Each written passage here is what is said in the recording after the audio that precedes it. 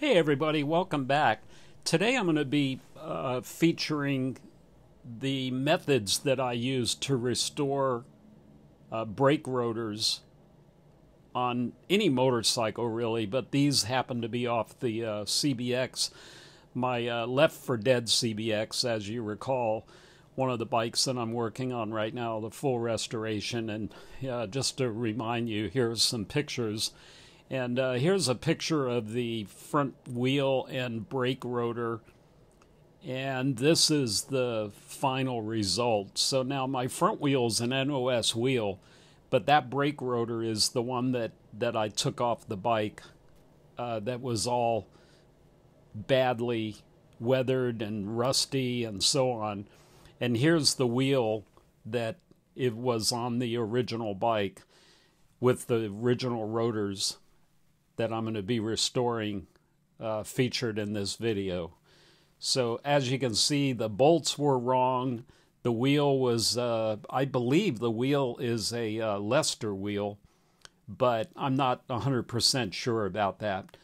But they took the regular CBX wheel and uh, attached it to there. So uh, written right onto the uh, disc is the uh, minimum specs that these discs can be uh, serviceable.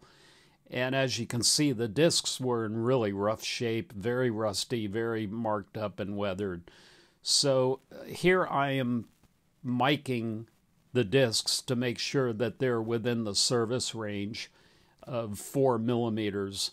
And I believe that it ended up being just slightly over five millimeters uh, the thickness of the disc.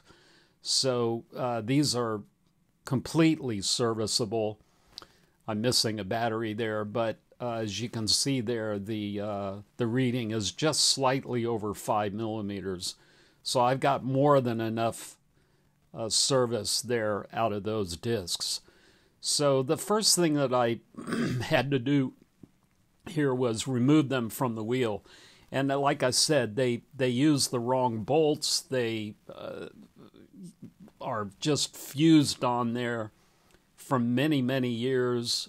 Uh, that the, these were probably put on these wheels many years ago, and then the bike was up in the mountains in the weather and the elements for more than 20 years. So uh, these bolts were just extremely hard to get out of there.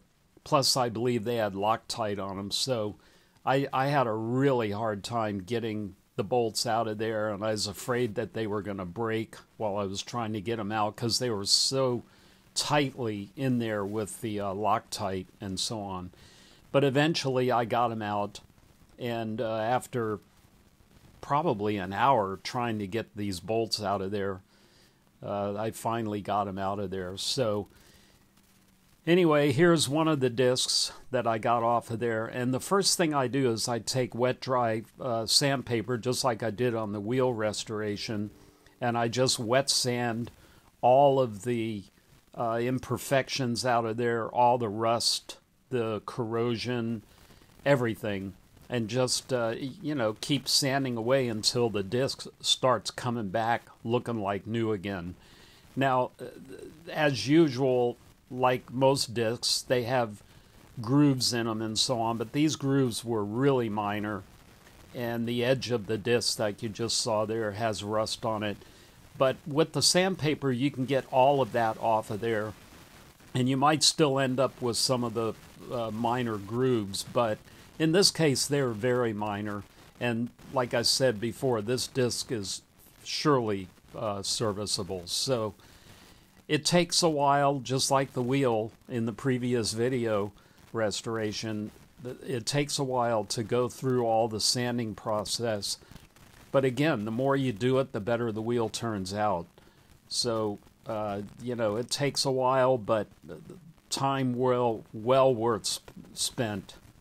So, in this case, I'm doing the edge of the disc here, and as you can see, it turns out really, really nice when you just have a little bit of patience and sand off all that ugliness off of there. The disc is pretty much a diamond in the rough there when it's all done.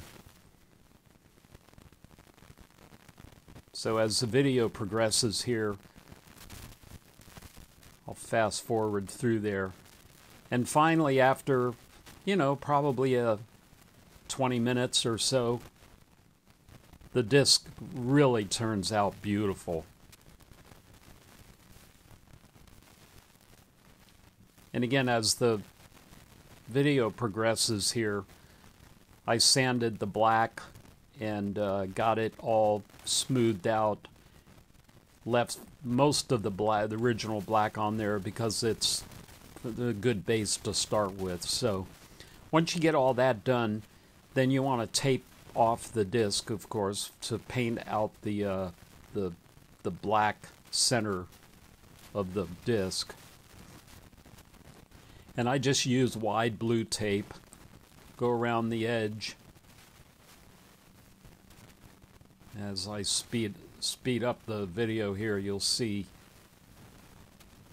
once the blue tape is on there then I just kind of run my fingernail along the uh, the edge there between the black and the actual disc to create a, a ridge there to run a, a razor blade to cut the excess blue tape off.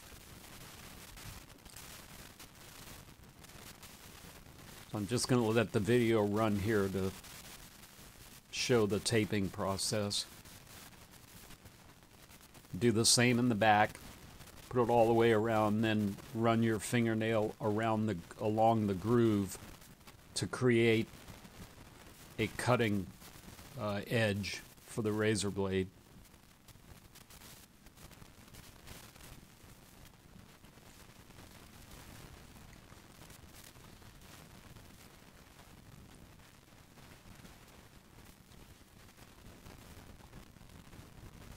So again, once all the tape is on there, then you just take a razor blade, run it along that edge.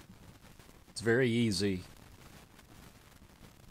And then you pull the tape off and like I said, it's very easy to uh, to do that.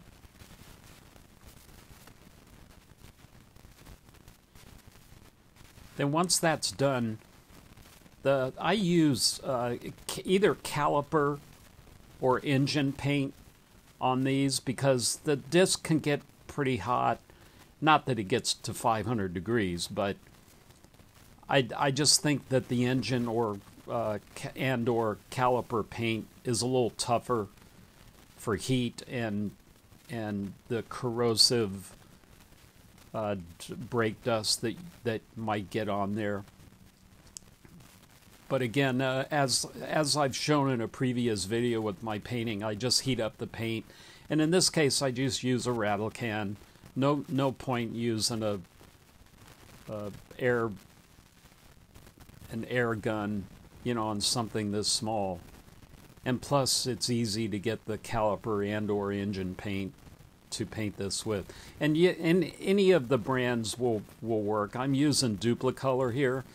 But any brand that you find at your auto parts store works great. I have some people ask me the brand and so on. So anyway, here's the here's the final result with the restored disc and the painted center and the in this case it's an NOS wheel but I'll show you the back wheel that I featured in a previous video here in a second. But as you can see, the disc turned out beautiful. And considering the bike that it came off of, it, it's pretty pretty large feat. So here's the uh, the back wheel that I featured in the previous video that I was restoring, and that wheel was pretty rough looking but as you can see, it turned out really nice.